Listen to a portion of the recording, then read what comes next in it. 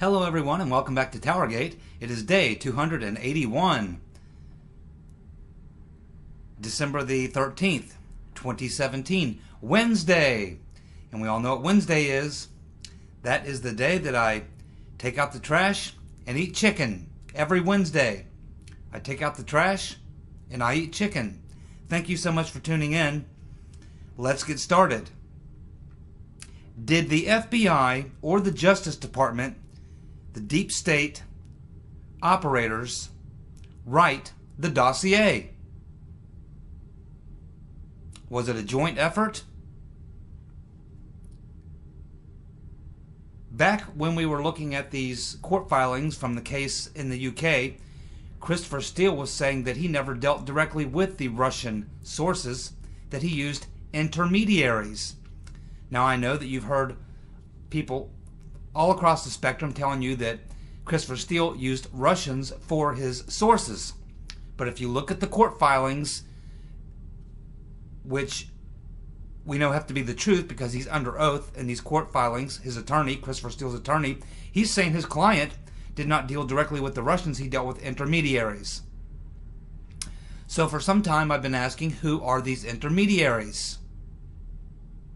I wondered could they be other British intelligence guys? Could they be um, people from the EU in, in, intelligence? Could they be German intelligence? Uh, could they be uh, private individuals who have some knowledge of some things? Who might they be? But now, with the recent revelations over the past two or three weeks, what we're learning about Mr. Ohr and his wife, what we're learning about Peter Benstrokenus, what we're learning about other people connected to Fusion GPS, it's becoming somewhat obvious to me that this was not just an opposition research or a slander piece, uh, a political document. It's much more than that. And it appears that there's been some collusion between Fusion GPS and people within the State Department and the FBI which is now leading me to conclude that possibly the reason that Christopher Steele will not reveal the intermediaries is because it may be some individuals like maybe John McCain, David Kramer, or how about someone like Mr. Ohr? How about Peter Benstrokenus? How about someone working for McCabe or Comey in the intelligence community? How about one of John Brennan's CIA spooks. We know that Christopher Steele was very connected to U.S. intelligence. And we know that John Brennan is mixed up in this somewhere. That's Hillary's boy. It's becoming pretty obvious to me that these intermediaries that are discussed in the court filings in the UK lawsuit of uh, Gubarev versus BuzzFeed, or Gubarev versus Christopher Steele, in the UK, when he talks about these intermediaries, he doesn't want to talk about who they are, will not reveal their names. I wonder why. But it's becoming more and more likely that this dossier wasn't just something that was happening on the peripheral that found its way into the FBI or through the intelligence community. It's becoming much more likely now that this was a joint effort with the full cooperation and in fact, based on what we talked about this past Sunday with Mike Whitney's article, where he points out the stark difference between the early memos of the dossier and the final memo of the dossier, where it went from being a salacious National Enquirer type story into a like an intelligence document. It appears that some other people, probably within the intelligence community, got their input into that dossier. So, what may have started out as a political thing may have ended up actually being corrupted at the end by the intelligence agencies and the FBI, the Justice Department, because we have people on the inside that are personally connected to Fusion GPS and Christopher Steele it's becoming obvious to me that when we get to the bottom of this, we're going to find out that the FBI, the Department of Justice, and the CIA were not just spectators in the stands observing and looking into the things that were in the dossier, but that they were most likely, at some point along the way, particularly at the end, very likely contributors to the dossier. And if we find that that is true, there will be many people, many high level people, going to jail. And they should. Nixon could have only dreamed of something like this. This would be essentially a attempted coup d'etat by the deep state, meaning the intelligence community, the Justice Department, the previous administration. And what makes it even worse is this wasn't just something that they may have been running on their own because they feared that Trump would attempt detente with the Russians and mess up their deal, but that they actively worked alongside presidential candidate in a presidential campaign. This is serious business, my friends. And we're going to get pretty close to the bottom of it. We may not learn everything, but we're going to learn enough because there's too many people that are not letting go. We'll have more as we move through today's Towergate to back up this evidence. Chuck Ross of the Daily Caller the federal judge has recused herself for a second case involving Fusion GPS. We're talking about the story we covered about two weeks ago with this judge, Tanya Chutkan, who recused herself from the court case that's going on where Devin Nunes is trying to subpoena bank documents from Fusion GPS to find out if he paid or who he paid journalists he wants to find out who the journalists were that Fusion GPS was paying during the summer of 2016. So this judge, Tanya Chutkan, uh, recused herself and she had to be replaced by another judge, which is good news because that's a good judge. Now we find out that she's recused herself from a second Fusion GPS related case that she was hearing.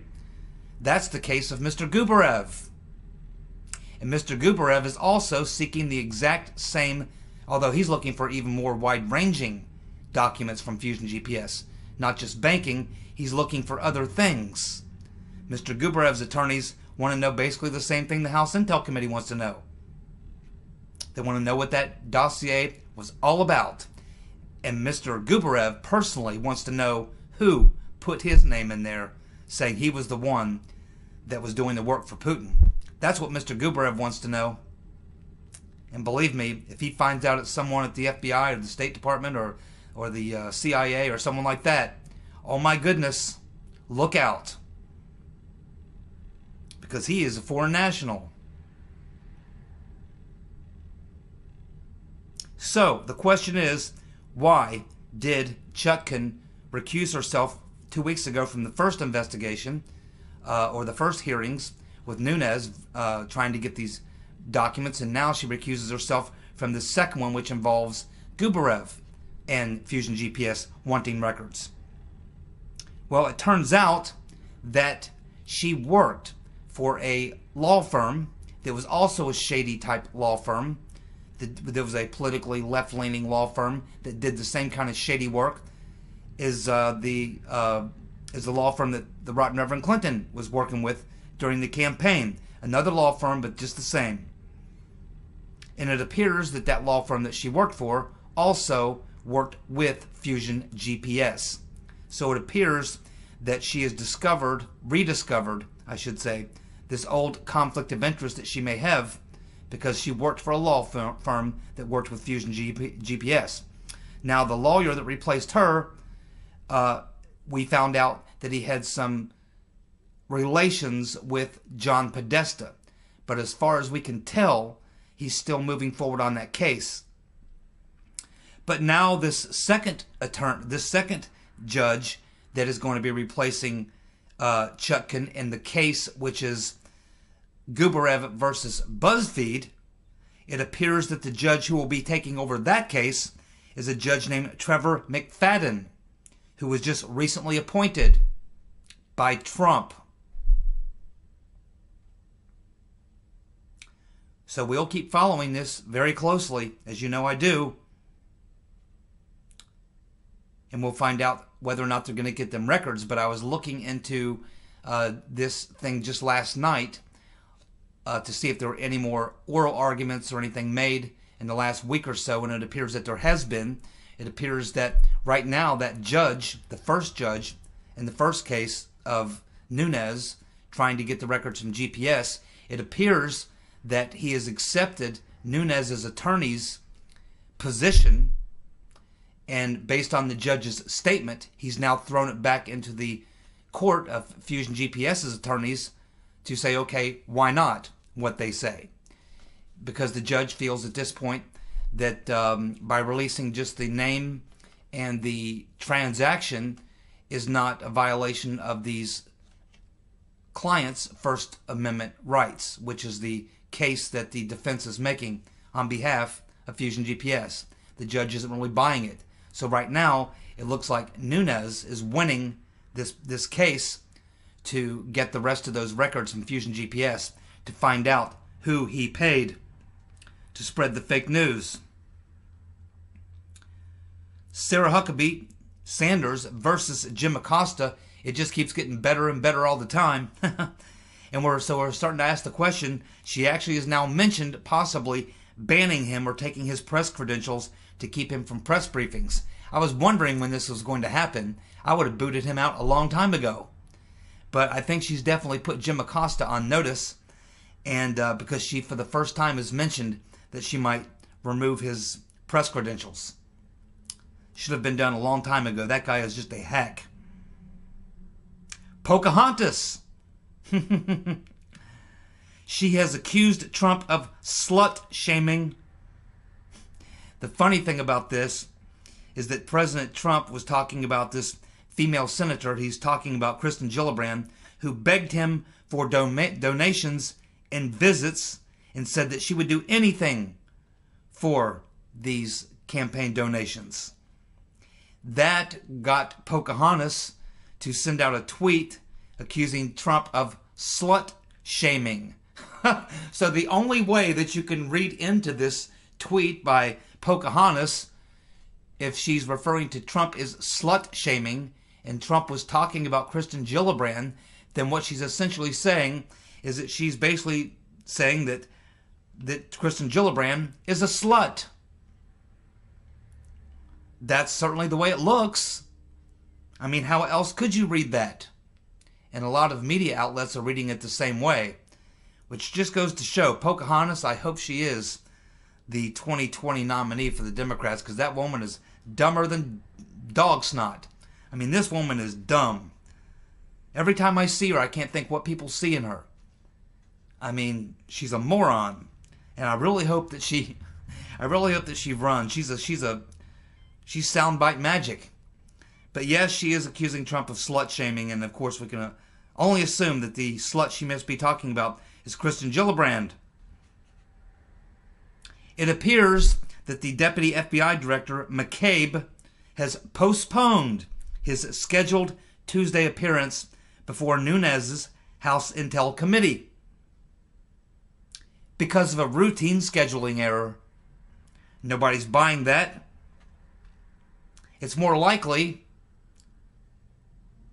that he's got a little problem. Two little problems. They would be Bruce and Nellie Ohr. That's the two problems he's got. Ain't no scheduling conflict. He's got to talk to some good lawyers and find out what in the hell he's going to do. He's the assistant FBI director, the deputy FBI director. He can't sit there and plead the fifth, can he? Oh, he can, but he he, he won't. He can't. I mean, you, you can't do that. You know, if he was a private citizen, he could. But as a government official, I don't think the Congress would take too highly to him pleading the fifth there, would they? No, they would not. Now, Rosenstein has not yet backed out, but I expect that that may happen as well. Both Rosenstein and McCain do not want to face Devin Nunes and his committee because they got the goods on them. And there's no doubt that Devin Nunes is turning up the heat big time. Yeah, if I'm McCabe, I'm very, very worried about that hearing. Very, very worried. And so should Rosenstein be very, very worried. And, the, and the, it's not just going to end at the House Intel Committee. The Senate Intelligence Committee will have them over there as well. And then the Oversight Committee. They better lawyer up and they better get some good ones. Well, MSNBC, Cuomo, and Camerota have a meltdown. And they're melting down over the idea that Trump was laughing his butt off over their errors in their reporting. I watched this. I, it was like about a four minute clip or something, but it was just hilarious. I'm watching NBC talking about how Trump is laughing his butt off because of the errors that they and other uh, media cohorts are making. And they're upset about this. Which begs the question then why don't you people quit running fake news? It's abs- it's it's kind of like bizarre. It's like absurd comedy or something. I mean, it literally is becoming common. Watching MSNBC, watching this nutcase Cuomo and uh, Camerota, or whether it's uh, Joe and Mika or whoever you're watching, it's becoming like a, a, a freaking comedy over there. It's hard to tell whether or not it's actually straight so-called news or comedy. It, it's the lines are so blurred at this point. You literally cannot tell. I mean, it's unbelievable. Well, it is about eight o'clock Eastern Standard Time here in damn cold Southern Ohio. I don't know where you all are watching, but I hope from wherever you're watching this video from, it's a lot warmer than where I am because today I don't think we capped 23 or 24 degrees with a stiff wind blowing. Very nasty, gray, cloudy, nasty day. They're expecting we'll get down in uh, 13 tonight. That's where they do the weather from. But here where I live in this little town I live in, which sits in kind of a valley here, it'll probably get down in the single digits tonight. It's damn cold. Now we're used to getting down into these types of temperatures every now and then. In January and February, we'll get a week or two. We'll get a blast like this, a clipper system out of Canada, and we'll get down into the low teens or single digits. But we're not used to that um, in the beginning or middle of December. This is more like late January, February weather for us. But we're in the grips of a nasty cold snap. I can only say that I hope those of you who are out there watching are in a much warmer place than I am. Although it's nice and warm in my house. in my little TV room, my little uh, what I call my music room. My I got nothing but nice high-end studio monitors, 300 watts RMS of power, and lots of good music, musical instruments, all the things you need to have a good time in a small room. My little Cape Cod west wing of my house here that goes out onto my screened-in back porch where I do my grilling. It's quite comfortable here right now and toasty. But if you step outside, it's freezing. Anyway, as I'm sitting here at about 8 o'clock uh, Eastern Standard Time on uh, Tuesday evening, um, the race in Alabama appears to be neck and neck. And that is not good.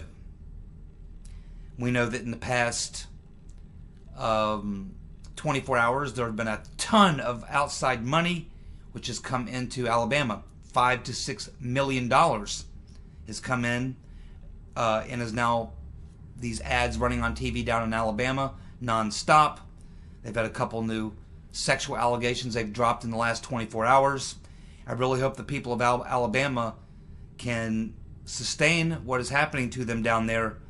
But at this point, for this race to be this close, and I, it looks like some of the places where Roy Moore was supposed to do really well. He's almost in a dead heat, and you know at this point, and that means that what's coming in later should favor Jones, whose name I don't even want to mention. But this, I would say, is not good. I hope that I'm wrong. I hope that the turnout is low, uh, but we know what they've done in the last week or two. The, what the Democrats have done with money and the amount of firepower they've sent in there probably busing people in the inner cities to the polls, probably voting at least three or four times each. God only knows how this is going to turn out, but right now, I'm mighty nervous. I was fairly confident even after the Fox News poll came out yesterday because I looked at an aggregate of polls which had more up by four points. But in Alabama, that's not good either. I mean, Trump won there by 25 or something points. It's not good. And uh, if he loses this race, it'll be the fault of the Republican National Committee and the Republican Party and the National Republicans. Because for so long in this race, including Twitch McConnell and others, they did everything they can to take to take the legs out from underneath Roy Moore. It's only been in the last week that they finally come around. And I don't know that they really have. They just probably did all they could do.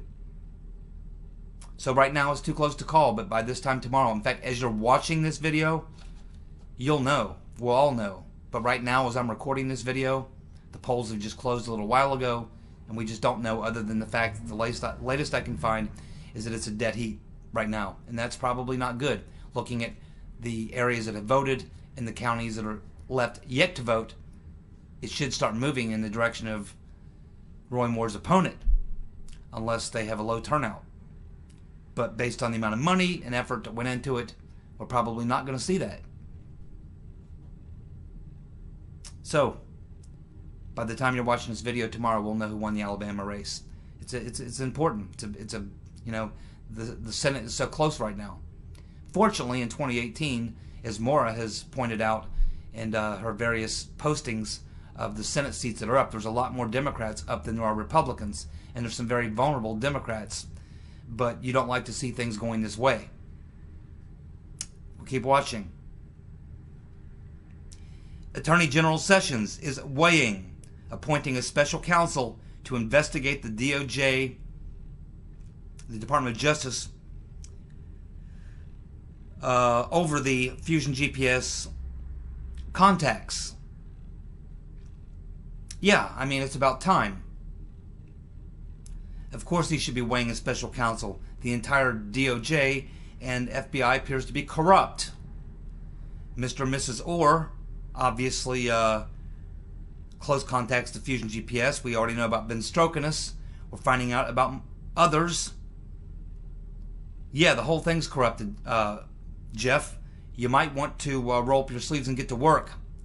Might have to get your hands dirty in this thing. It's time to get involved, Attorney General Sessions. Oh, by the way, you need to unrecuse yourself. Because we just learned today that Jeff Sessions should never have ever recused himself in the first place. You know why? The reason he recused himself is because when he was being questioned in the hearings, there was two occasions where he met with the Russian ambassador, not actually met with him, but had had contact with the Russian ambassador Kislyak that he forgot to mention. One was at the Republican National Committee, where it was like, "Oh, hi, how you doing? You know, yeah, good to see you. Yeah, well, it's all great. Uh-huh, yeah, well, thanks. I'll see you." Wasn't a, speech, a special secret meeting or anything like that. And there was another uh, point where he had contact with Mr. Kislyak that you know slipped his mind. He was a senator, but we're now learning that before Jeff Sessions was uh, when he was being briefed by the FBI about what things he could talk about, not talk about, and this and that and the other thing. Uh, he was told that you do not have to admit, nor does it matter about having relations with official Russian government officials when you're a sitting senator. It's not at issue, and it's nothing uh, that uh, should be an issue at all. So we're now finding out that his two contacts with Kislyak were of no consequence whatsoever and should have not have caused him to uh, have any repercussions of that. And he should never have had to recuse himself in the first place.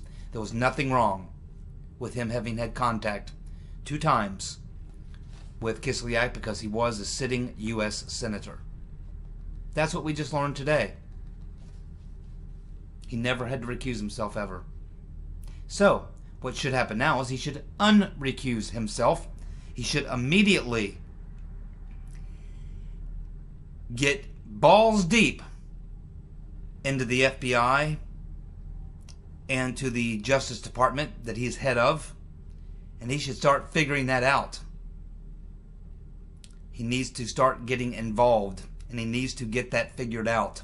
And he probably should appoint a special prosecutor. I'm not big fans of it, but you have to, because here we're talking about an investigation of the DOJ and the FBI. You can't have the DOJ and the FBI investigate themselves. That's what's been happening. So, there you go, Jeff Sessions. You're a free man. You never had to recuse yourself in the first place. You need to unrecuse yourself. You need to immediately get extremely involved in what's going on there at the DOJ and the FBI, or you're going to find yourself being very embarrassed, Mr. Sessions, because if you don't do it, eventually, either Mr. Gubarev's attorneys or Devin Nunes committee or Grassley's committee or some journalist is going to sniff this thing out and expose a lot of a lot of bad stuff. And the fact that it will have gone on under your nose and you did nothing is not going to reflect very highly on you, Mr. Sessions. So you may want to man up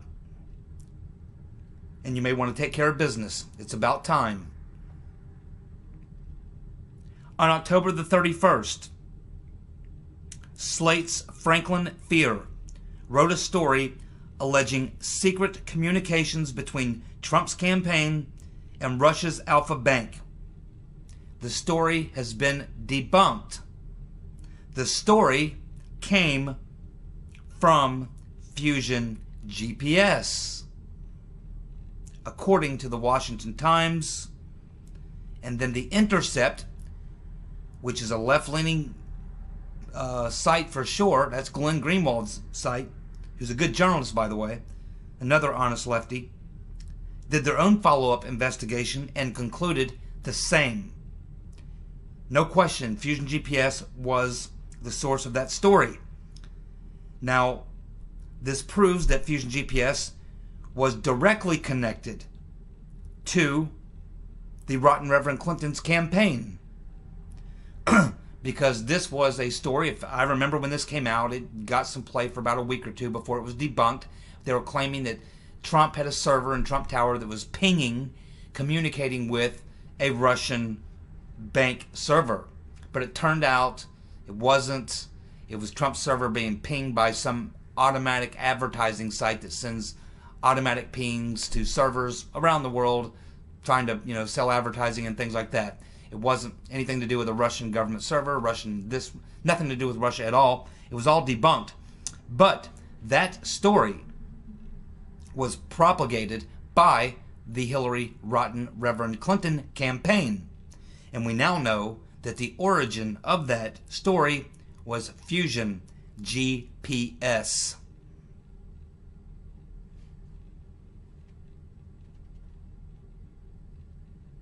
So that just shows that Fusion GPS was connected to even more fake news than what we had already known. It was used directly by the Hillary Rotten Reverend Clinton campaign to smear President Trump. You ready for this one?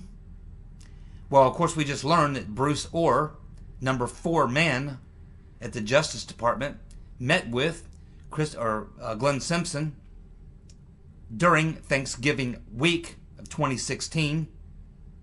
We know that he talked several times with Christopher Steele and has a relationship with him. And then we find out that his wife worked at Fusion GPS. That's what we've learned in the last week. I got another one for you. It appears that his wife, Nellie, also worked for the CIA. Bruce Ohr's wife is CIA. Do you think that uh, Fusion GPS may be a front company that is CIA? Fusion GPS, a CIA front company.